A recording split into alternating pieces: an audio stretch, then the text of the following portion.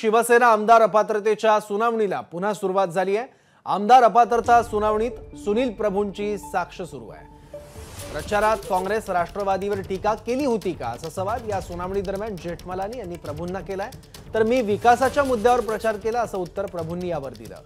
तर शिवसेना भाजप युती इंग्रजीत याचिका यावरून देखील प्रभूंना या सुनावणीत घेण्याचा प्रयत्न होतोय. एबीपी माझा. उघडा डोळे बघा नीट।